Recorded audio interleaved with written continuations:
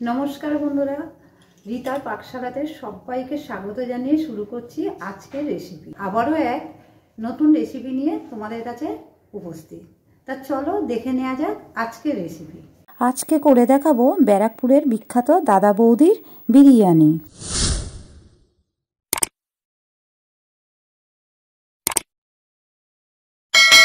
একটা মশলা বানিয়ে নেওয়ার জন্য কিছুটা এলাচ নিয়েছি, সাওয়া মরিচ নিয়েছি, সাওয়া জিরে নিয়েছি, জায়ফল নিয়েছি, জাবিত্রী নিয়েছি, আর দারচিনি নিয়েছি, লবঙ্গ নিয়েছি।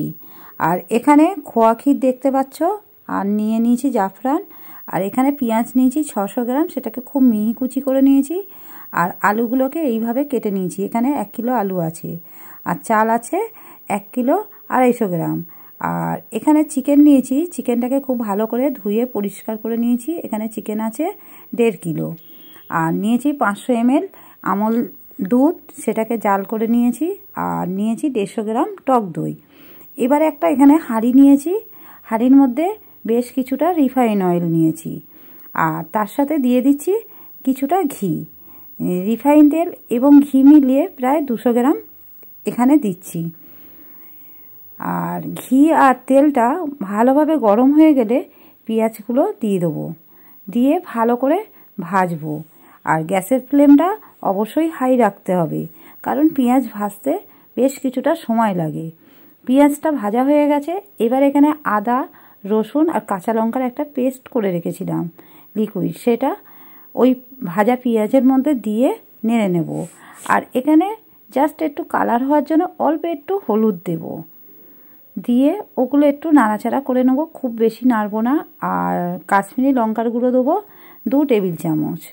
দিয়ে সব কিছু ভালো করে একটু মিশিয়ে নেব। নিয়ে আর পরিমাণ মতো জল দেবো। যে জলটা দেব, তার মধ্যে আলুগুলোকে সেদ্ধ করব। আর দিয়ে দেবো এখানে স্বাদ অনুসারে লবণ। প্রথমে আলুগুলো দিয়ে দেবো। এবার আলুগুলোকে সিক্সটি পারসেন্ট সেদ্ধ করব। আর দিয়ে দিচ্ছি দু ফোঁটা মিঠা আতর। তাহলে আলুর মধ্যে একটা সুন্দর ফ্লেভার এসে যাবে। আর এখানে দেখো কিছু শুকনো গরম মশলা নিয়ে নিচ্ছি। এলাচ, দারচিনি, লবঙ্গ, জায়ফল, জাবিত্রী আর সাহাজিরে সেগুলোকে একটু ভালো করে গরম করে নেব এই ঢাকনার উপর রেখে। আর এগুলো পরে ব্যবহার করব, সেটা তোমাদের দেখাবো কিসে ব্যবহার করব। আলুগুলোকে এবার একটু চেক করে নিই। আলুগুলো ঠিকঠাক সেদ্ধ হয়েছে সিক্সটি পারসেন্ট কারণ বেশি সেদ্ধ করা যাবে না। আলুগুলো এবার তুলে নেব। দাদা বৌদির বিরিয়ানি বাড়িতে খুব সহজেই করে নেওয়া যায়। শুধু কয়েকটি স্টেপ ফলো করলেই হবে। এই যেমন এখানে জলটা তোমাকে ঠিকঠাক দেখে দিতে হবে, কারণ জলটা বেশি হয়ে গেলে ভাপের সময় তখন অসুবিধা হয়ে যাবে। এবার আরও কিছুটা লবণ দিয়ে দিচ্ছি। লবণ দিয়ে এবার চিকেনগুলো তুলে দেব। এখানে চিকেনগুলিকেও সিক্সটি পারসেন্ট সেদ্ধ করে নেব। এর বেশি সেদ্ধ করা যাবে না। এখানে এক একটা চিকেনের পিস দেড়শো থেকে দুশো গ্রাম হবে। এখানে চিকেনটা ততক্ষণ সেদ্ধ হতে থাকুক। এবার রাইসটা করে নেওয়া যাক বিরিয়ানির। দেখো, জলটা অলরেডি আমি আগেই বসিয়ে দিয়েছি, জলটা ফুটে গেছে।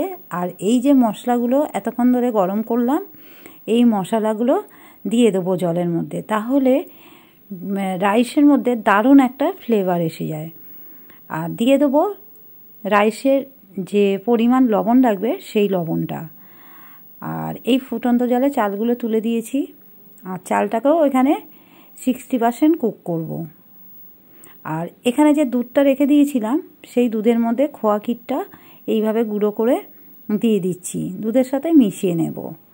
আর দিয়ে দেবো চার পাঁচ ফোঁটা মিঠা আতর। আর দিয়ে দেবো কেওড়া জল, এক ঢাকনা, গোলাপ জল, এক ঢাকনা। আর দিয়ে দেবো কিছুটা জাফরান, কালার হওয়ার জন্য। এটা পাশে রেখে দেবো। আর এখানে দিয়ে দেবো রাইসের মধ্যে এক ঢাকনা ভিনিগার। ভিনিগারটা দিলে রাইসটা অনেকটাই ঝুরো ঝুরো হবে। আর রাইসটাকে দেখো, আমি চেক করে নিচ্ছি। হাতে করে দুই আঙুলে করে পেস্ট করছি। রাইসগুলো এখনও পর্যন্ত ভাঙছে না, তার মানে অনেকটাই সেদ্ধ হতে বাকি। দেখো, এই অবস্থাতেই আমি নামিয়ে নেব। আর এখানে চিকেনটাও দেখো তোমরা এইভাবে এই অবস্থায় রেখে দিয়েছি সিক্সটি পার্সেন্ট কুক হয়ে গেছে। এবার এখানে যে টক দইটা রেখে দিয়েছিলাম, দেড়শো গ্রাম মতো, সেই টক দইটা দিয়ে দেব। দিয়ে যে বিরিয়ানির মশলাটা বানিয়ে রেখেছিলাম, সেই মশলাটা বেশ কিছুটা দিয়ে দেব। আর দিয়ে দেব এবার এর মধ্যে আলুগুলো।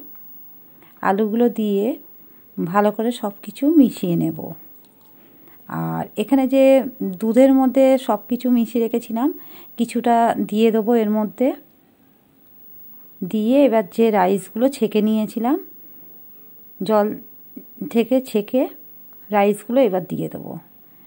রাইসটা হাঁড়ির চতুর্দিকে ভালো করে চালিয়ে নেব।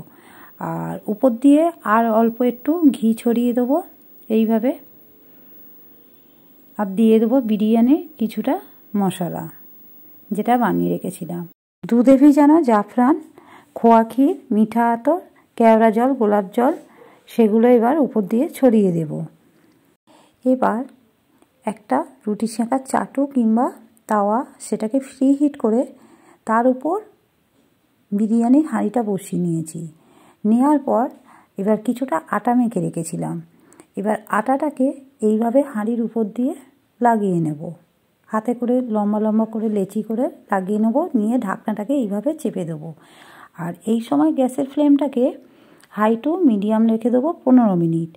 আর পনেরো মিনিট লো ফ্লেমে রেখে দেবো আর দশ মিনিট গ্যাস অফ করে রেস্টে রেখে দেবো। এবার বিরিয়ানির ঢাকনাটা খুলবো, দেখো। আর পুরো উপর পর্যন্ত ভালোভাবেই ভাপটা লেগেছে। আর হাঁড়ির গাটা পরিষ্কার করে দিলাম, আটাগুলো সরিয়ে দিলাম। এবার তলার দিয়ে তোমাদেরকে আলু, চিকেন সেগুলোকে দেখিয়ে দিচ্ছি। আর দেখো, কালারটাও কত সুন্দর এসছে। এইভাবে যদি বিরিয়ানি করা যায়, হাঁড়ির নিচে একটুও লাগে না। এবার তোমাদের প্লেটে সার্ভ করে দেখাচ্ছি, দেখো। কেমন লাগল আজকের এই রেসিপি অবশ্যই আমাকে কমেন্টে জানাবে। লাইক শেয়ার করো, আর প্লিজ চ্যানেলটিকে সাবস্ক্রাইব করে পাশে থাকা বেলাইকনে ক্লিক করো। এইরকম নিত্য নতুন ভিডিও ছাড়লে যাতে তোমার কাছে আগে পৌঁছায়। আর ফেসবুক পেজের লিঙ্কটা ডিসক্রিপশন বক্সে দেওয়া রয়েছে, তোমরা ওখান থেকে দেখে নিও। ওই লিঙ্কে ক্লিক করে অবশ্যই আমাকে ফেসবুকে ফলো করো। আজ তাহলে এই পর্যন্ত। আবার এক নতুন ভিডিও নিয়ে তোমাদের সাথে দেখা হবে। তাহলে তোমরা সবাই সুস্থ থেকো, ভালো থেকো। ধন্যবাদ।